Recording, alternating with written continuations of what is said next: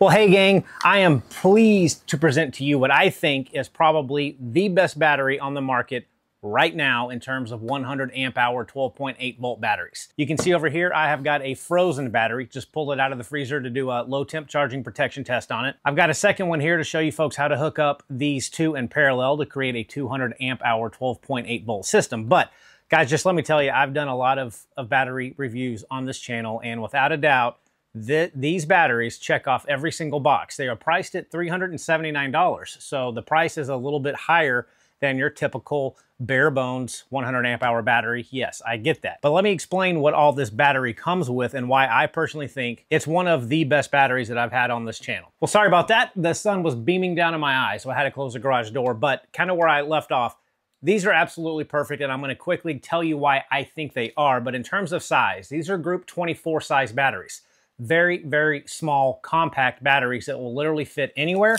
So we are looking at 10 and an eighth inches wide, eight and a quarter inches tall, and six and a half inches deep.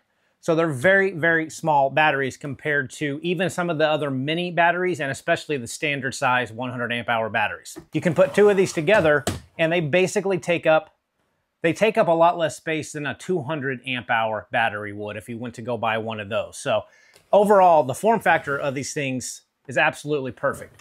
Where these batteries come into play, why they're so awesome, I think, is all of the features that are built into it. So you're gonna have Bluetooth 5.0 on these batteries, so you can log into it, check the state of charge, check the amount of current going into the battery if you have it hooked up to solar, check the discharge, how much it's outputting to whatever you have it hooked up to. That's very beneficial, especially for someone like me that has an RV. I like to know where my battery sits. Hooking up a multimeter on LiPo4 batteries doesn't always give you the full picture of how full your battery is. The voltage curve is so flat on LiPo4, so being able to know the exact state of charge on these things is fantastic, and built-in Bluetooth 5.0 is great. And also another side note, look at this right here all of these stickers on top of this battery. It gives you a QR code, it gives you the serial number name, it gives you the Bluetooth name. That might not seem like a big deal, but I've had some batteries that have Bluetooth that it took me a good 30 minutes to find the app that that battery belonged to to get into the Bluetooth module. Once I clicked on that app, uh, you know, it, it pulls up every single Bluetooth item you have in your house and you kind of have to guess which one is the battery and you hope you get it right. LiTime did it right you know exactly what app to download. The QR code is on top of the battery. You can quickly get to the app. It's very, very simple, and they actually put some time into it. The batteries are labeled with the Bluetooth name, so you know exactly which one to click on.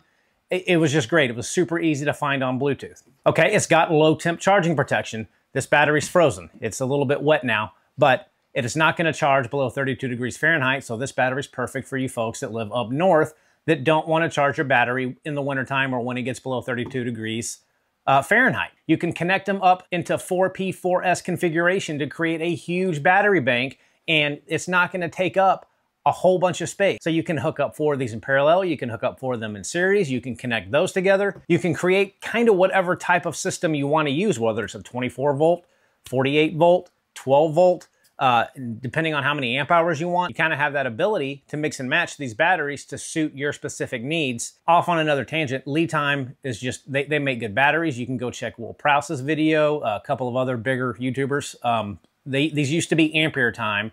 They had a good reputation back then. And now that they've rebranded to LiTime, they just keep putting out new batteries and good batteries and there's a lot of teardowns on these things. They're built well inside. So I think the price of 379. So I realize that a lot of you watching this um, are going to think that that's a much higher price than all the other 100 amp hour batteries that at least I've shown on the channel. And that is true.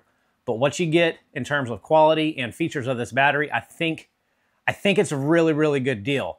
You get up to 500 amps worth of discharge for less than one second. So it will kickstart something up to 500 amps as long as that, that amperage doesn't exceed one second. But an easy 100 amp continuous discharge on this thing. I, I'm, I'm contemplating trying to find a way to hook both of these up on my RV to create a 200 amp hour battery. Uh, I don't know if I'll be able to get these fit on the tongue. I don't want to have to do a lot of rewiring to fit these inside underneath my RV, uh, you know, underneath the bed. Um, so we'll figure that out. But guys, I just wanted to show you these batteries and what they're capable of. So we're just going to jump right into the testing that I've done on these batteries and uh, we will check back in after all that's said and done. All right, folks, let me show you how I'm going to be doing the capacity test on this LiTime. A little bit different this time than, than standard, but I've got the battery hooked up to my Phoenix 250 volt amp inverter. Very, very good inverter. I bought this. It was less than 100 bucks though, but it does not have a, a huge output. But for something like this or running things like a Starlink or a camera system or just lights at a cabin, these little inverters are perfect. So this is, should be a good test because it's not going to take a lot of power from that battery to actually keep this running but I do have a set of incandescent lights plugged into a watt meter and I just turned it on and I'm barely, I mean, I got three watt hours going right now. So what we're gonna do, and I'm gonna show you the app. So I've got the app pulled up from the LiTime battery and I'm at 99% full. You can see that I am pulling 200 and if that focuses, I don't know, 226 watts from th this light bulb array. So I'm going to let this thing run completely until that battery dies, and then we'll be able to check how long it ran by the runtime on this watt meter and how many uh, kilowatts I was able to get out of that battery to determine if we can get close to the 1280 watt hours off of that battery. So this is the setup and I'll check back in when that battery is completely dead. All right, well we have come to an end to this test. My light array is off. My watt meter is completely dead and this battery is completely done. So let me get this watt meter hooked up to external power so we can see what we were able to get.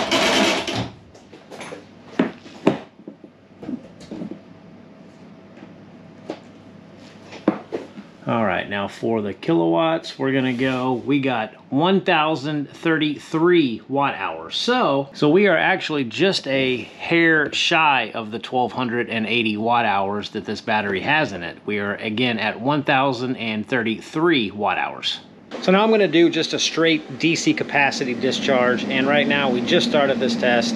Uh, so the this battery is at 100%. So I'm gonna see if there's a huge difference in just doing straight DC capacity discharging or actually using that inverter to see if we do have that much of a loss using the inverter.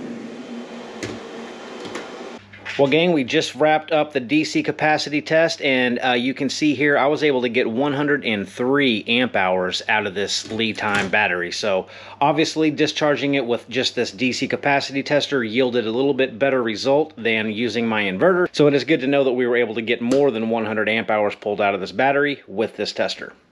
So next little experiment we're going to do, I'm going to connect two of these LiTime 100 amp hour batteries together in parallel to create a 200 amp hour 12.8 volt battery bank. And you can see what I did. I just connected positive to positive and negative to negative and I've got my inverter cables hooked up to a negative on one battery and a positive on the other going directly into my Phoenix inverter.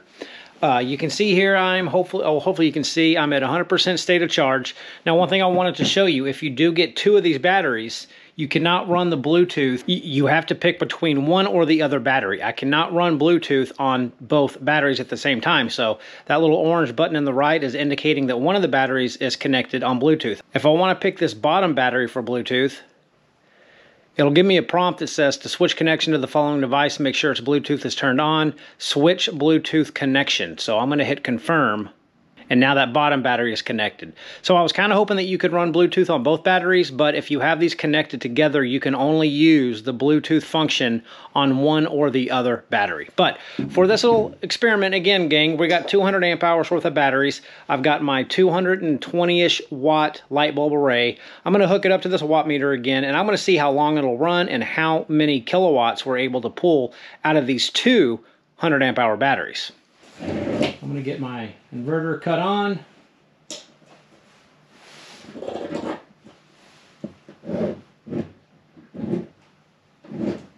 There we go. So, let's go. So my kilowatts is at zero. So we're just going to come back when both of these batteries are dead and see how much we were able to get out of it.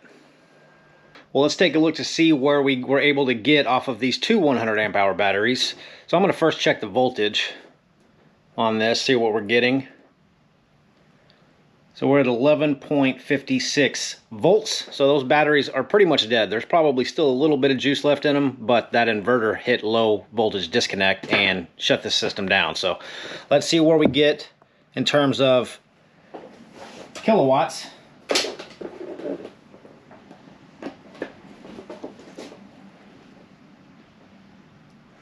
So we were able to squeeze out 2,035 kilowatts off of these uh, two 100 amp hour batteries in parallel.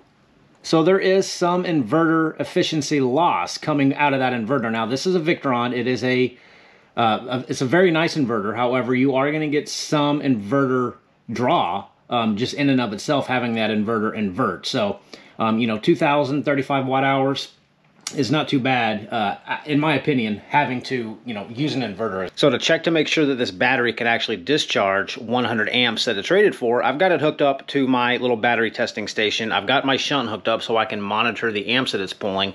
And I've got my 2200 watt Giandel uh, pure sine inverter. I've got my heat gun hooked up and we're gonna get this thing kicked on. And that's getting us around on average 100 amps. So I'm gonna get my phone. We're gonna get a timer going. Start. Get this set up here, and we're gonna see if this can run it for at least five minutes.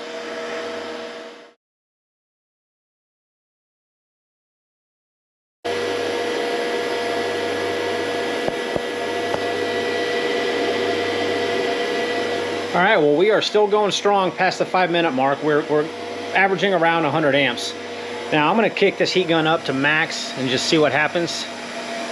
Probably not much, but that gets us to 130 amps. Now this battery is rated for up to 500 amps for less than one second, but it can handle a surge. Then there we go. It just shut down. So battery's protecting itself, which is a good thing. But just keep in mind, anything over around 125 to 130 amps for longer than 5 or 10 seconds, that BMS is going to shut down, which is just there to protect the battery, okay? Now, this battery also does have low temp charging protection, so we're going to go toss this thing in the freezer overnight and check it out in the morning to make sure that we cannot put a charge on it.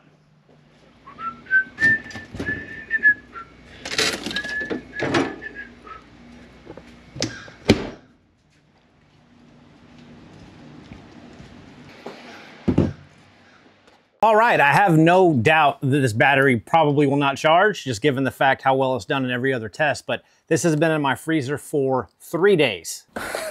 there we go. All right, so I got my charger here. It is plugged into AC grid. Positive to positive, negative to negative.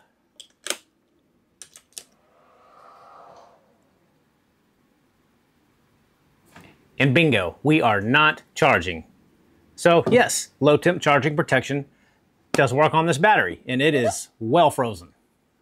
Well, as you can see, testing on this battery, everything did extremely well. Uh, it got 103 amp hours off of the straight DC capacity test. That inverter took a little bit more uh, energy than I thought that it would, which is why we didn't get up to the rated 1280 watts on that capacity test. But straight DC, 103 amp hours. Guys, Bluetooth 5.0, low temp charging protection, tiny, tiny form factor, lightweight. I think this battery checks off almost every single box that I have for a LiPo4 battery, especially in the RV world. And, and, that Bluetooth is invaluable in my opinion if you don't already have it because the ability to see where your battery is at in terms of state of charge while you're out camping is so beneficial because you kind of know, you know, do you need to hook up a solar panel to it? Do you need to put a little bit more charge into it? And it's also kind of interesting to see on the discharge side of things, how much your RV uses on the DC side. So I think that's, um, I love having Bluetooth on, on an RV.